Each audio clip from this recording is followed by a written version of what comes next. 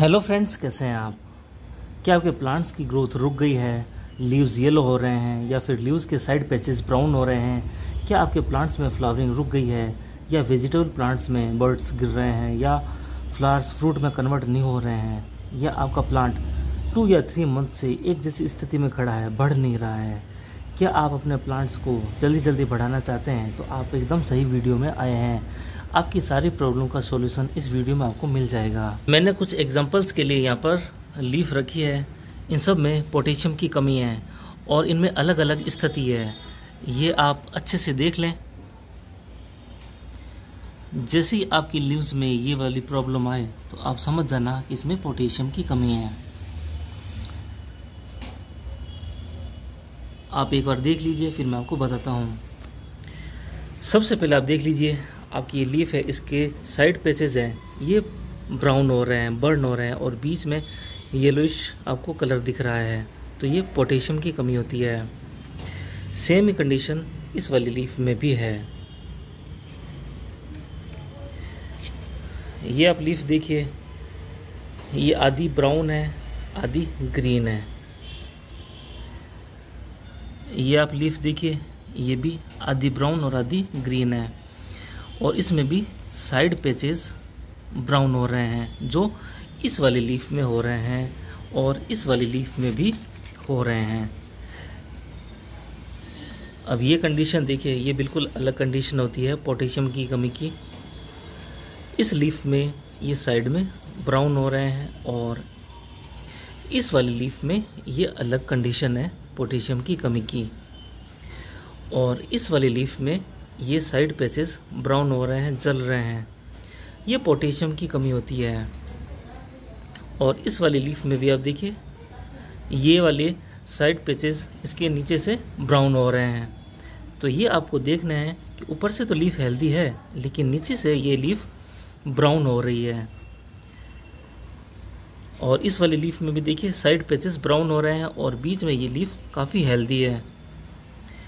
तो ये पोटेशियम की कमी की वजह से होता है। तो हम बात करते हैं लिक्विड पोटास फर्टिलाइज़र पर। पोटास लिक्विड फर्टिलाइज़र ऑर्गेनिक होती है, जो सभी तरह के प्लांट्स में आप दे सकते हैं आराम से। और अगर गलती से ज़्यादा भी प्लांट्स में पड़ जाए इसकी डोज तो प्लांट्स को ये हार्म नहीं करती क्योंकि ये ऑर्गेनिक फर्टिलाइज़र है। अगर केमिकल फर्टिलाइज़र ज़्यादा मात्रा में प्लांट्स में पड़ जाए तो 24 फोर हार्स में प्लांट को जला देती है। जिस तरह से प्लांट में nitrogen potassium iron phosphorus zinc magnesium इन सब की ज़रूरत रहती है, वैसे ही प्लांट्स में पोटास की भी ज़रूरत रहती है, क्योंकि ये बहुत ही ज़रूरी पोषक तत्व होता है प्लांट्स के लिए। पोटास ज़मीन में खनिज के रूप में रहता है और इसकी चट्टानें होती है जहाँ से पोटास प्राप्त किया जाता है। पोटास ग्रेनुअल और लिक्विड दोनों फॉर्म में ही मिलता है। लिक्विड पोटास नाइट्रोजन फॉस्फेट और पोटास का एक कॉम्बिनेशन होता है। और ये तीनों तत्वों से मिलकर बना होता है, जो प्लांट्स के लिए संतुलित और रिच डाइट होती है। पोटास का दूसरा नाम पोटेशियम कार्बोनेट भी होता है। प्राचीन काल में वुड एश यानी लकड़ी की राख से पोटास प्राप्त किया जाता था। संस्कृत ग्रंथों में इसे यवसार भी कहा गया है। मार्केट में पोटाश वाइट रेड पिंक और ब्लैक कलर में आते हैं।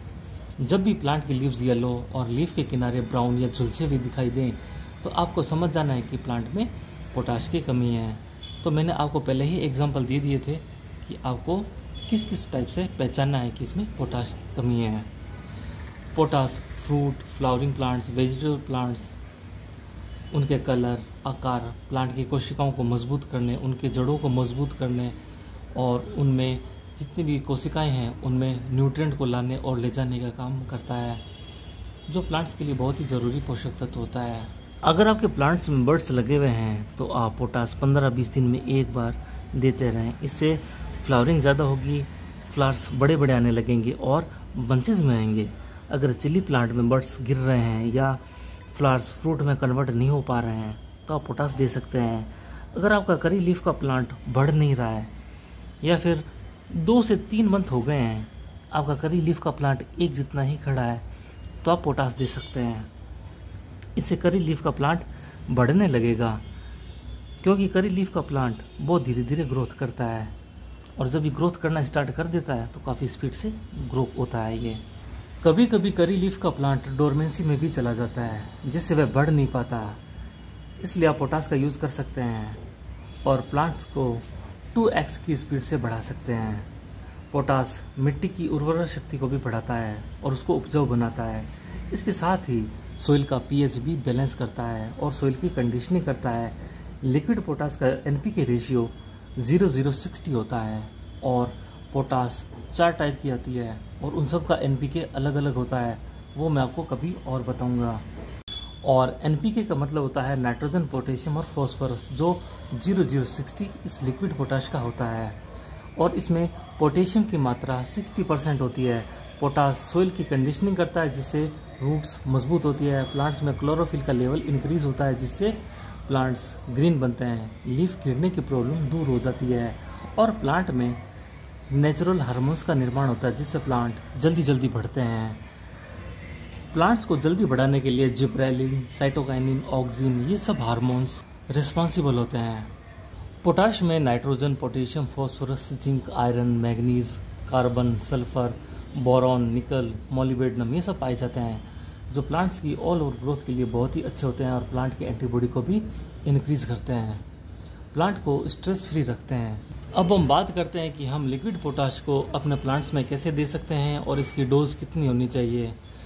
लिक्विड पोटाश को आप अपने प्लांट्स में दे सकते हैं, जो मैं आपको बताता हूँ।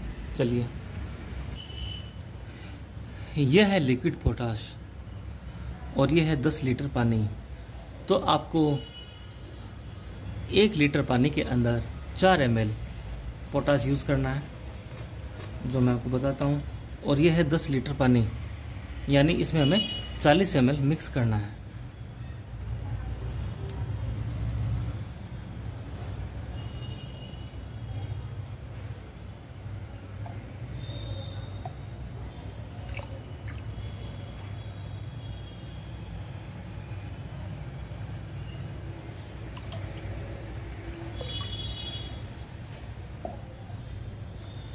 और इसको हम मिक्स कर देंगे।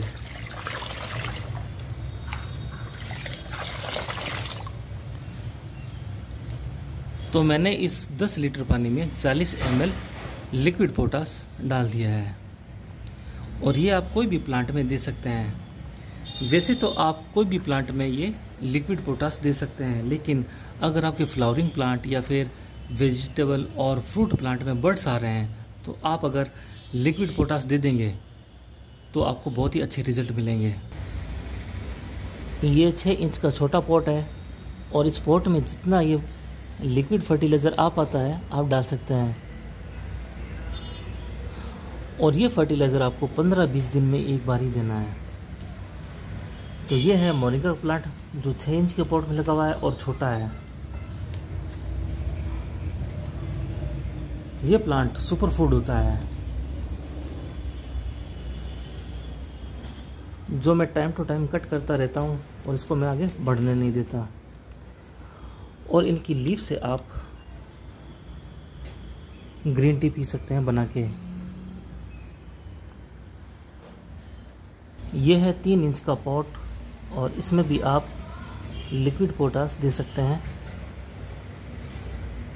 इसी तरह से ही छोटा पोट हो या फिर बड़ा पोट हो, आप किसी में भी ये फर्टिलाइज़र दे सकते हैं। यह है चौदह इंच का पॉट। और इसमें भी आप लिक्विड पोटाश दे सकते हैं।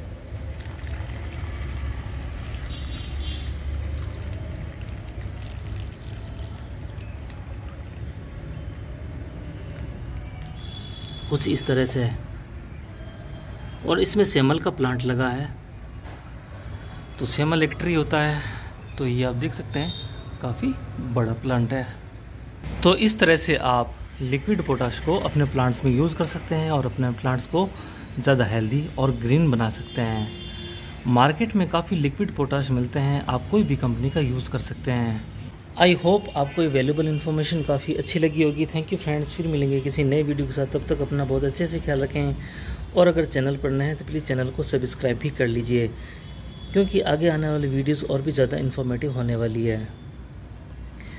और अगर आपको ये इन्फॉर्मेशन ज़्यादा अच्छी लगे तो इसे ज़्यादा से ज़्यादा शेयर भी कीजिए।